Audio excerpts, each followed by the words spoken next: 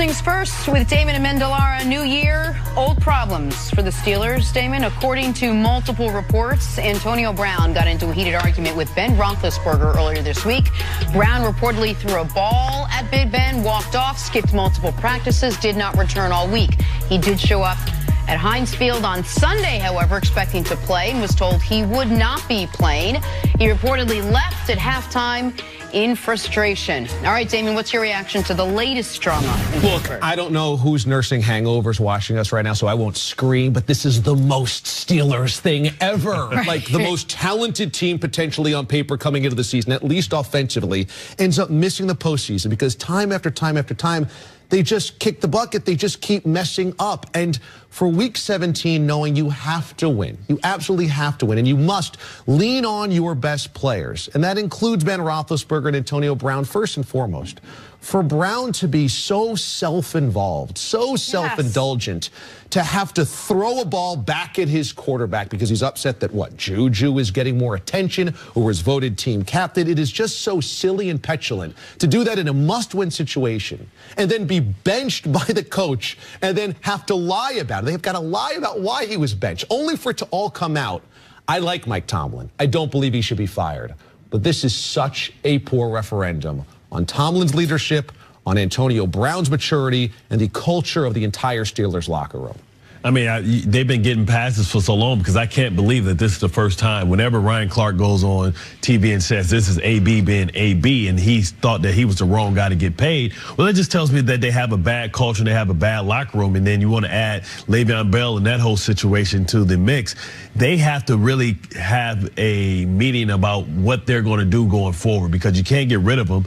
So what are you going to do? How do you how do you fix this situation? I'm surprised that somebody has an EK and poly this guy and punched him in the face because I can't imagine that he hasn't pulled this stick on some cornerback that was trying to you know guard him too hard in practice or something like that. But I'll ask you, Bart, with a team that has Super Bowl aspirations and a quarterback that has won a Super Bowl and a coach, how does it happen that guys within the locker room don't care enough to need to win Week 17, need to, the desire to get there? Why does selfishness like this? This happen? I think there was an element with the Steelers because if you remember during the Le'Veon Bell saga, there was one guy that consistently had L. Bell's back. That was Antonio Brown.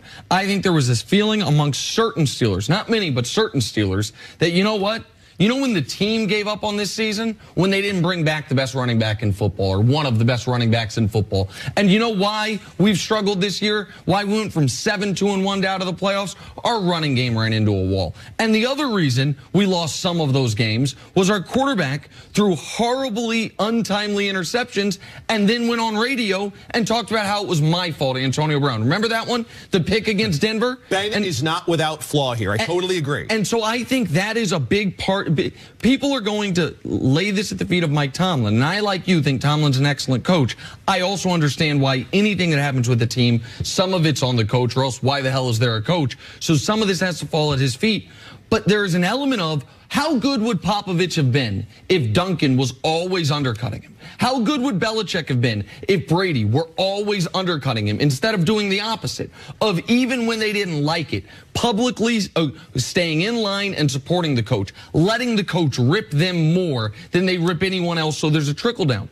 This Tomlin's never had that never had that benefit. He's always had to know that his quarterback of all players is going to be an out an X factor. And then he's got this wide receiver who, as talented as he is, has shown horrid judgment. I'm a guy, you've known me for 15 years. I've, my entire life, I've made. You I, know horrid judgment. I, okay, yes, that is, that is correct. but expert But I also, it takes a big bridge for me to get to uh, blaming a player for a behavior because I think, yeah, young, rich, empowered, how would I act, right? Like, and that's oh, always, that. that's always been you. how I felt. But even I would have known at that age Let's not Facebook Live something when Mike Tomlin could say anything. It's live to the world. Even I would know that even if I'm angry that maybe $80,000 missing from my condo, let's not allegedly throw furniture off the balcony, as Antonio Brown's alleged to have done, and almost potentially kill a small child. Like, these are all things we know, at least alleged to have done with the furniture thing. Like, he doesn't show good judgment. And this and the fact that he would skip the week of practices in what was a playoff game. They, if they win, they weren't necessarily in, but if they lose, they were definitely out. It was Correct. a playoff game. That's horrifying and sports horrifying. And I don't know what Tomlin can do. What can you do? Well, all he can do is not play him, and which is what he did. And they damn near lost because of it. The problem is that the best players for the Steelers are the ones that you cannot count on the most.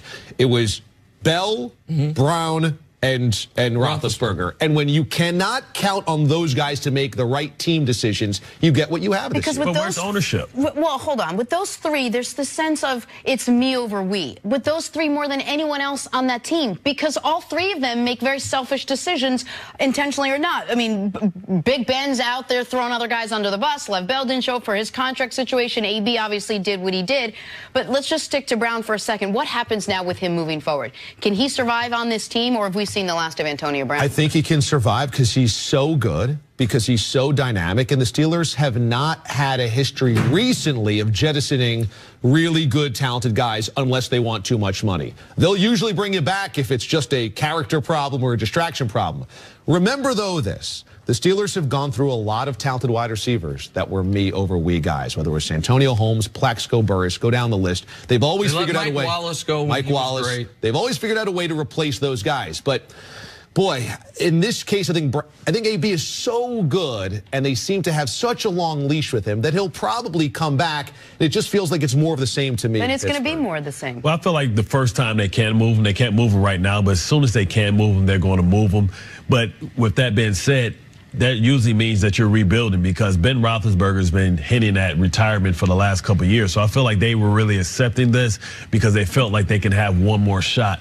With looking in, in, in the AFC North and what they've been able to do with, you know, the Ravens, Lamar Jackson, and with Baker Mayfield, I don't know if that window isn't almost closed. And we've seen the best years of Ben Roethlisberger and this Pittsburgh Steelers team consistently being in the playoffs. This is for this Steelers season.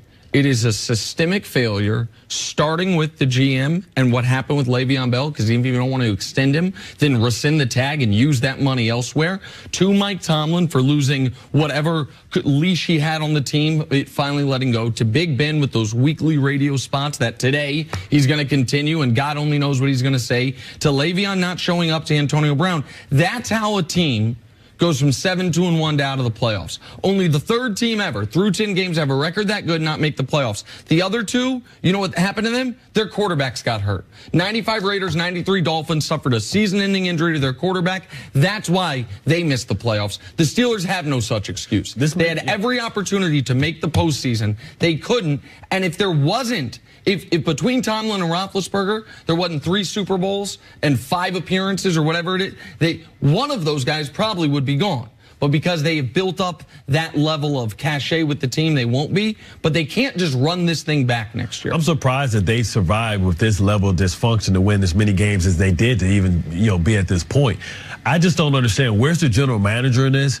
Where's the owner of this? Because if he missed two days of practice, then I need ownership to come up and we need to find him and bring him in and let him understand that we will take every dollar that we can out of your Ownership pocket. did reach out to him. No, you find him. You got the you got your NFL security. You can find exactly Find your where he is. iPhone app, You, should you- figure Find, find my wide receiver. find my wide receiver. I mean, you you show up. Only thing you only way you can hurt Antonio Brown is by taking his money away from you know conduct detrimental. I'm sure they probably may try and get that game check back, try and find him.